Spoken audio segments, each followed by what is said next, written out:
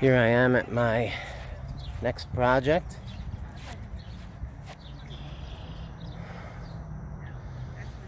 In Doylestown.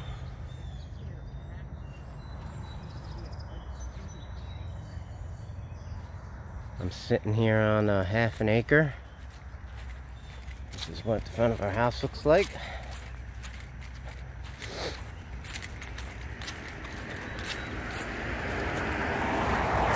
Thinking this property would be a, uh, a tear down. There's a, a lot over here. You can see some of the, the pond over there. So they can't build here, which is kind of nice. And uh, and if you look at the backyard over here, I'm parking for several cars in this driveway, which obviously needs lots of work. A whole house needs lots of work. Um, we're thinking it's a tear down and build a new house, but this whole section of ground out here behind the house is a flood zone, so it's actually a positive because it means nobody can build back here. So you're going to be surrounded on two sides of the house with woods.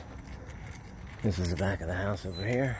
You can see the roof, swing set, and property goes this way. Big, big tree here.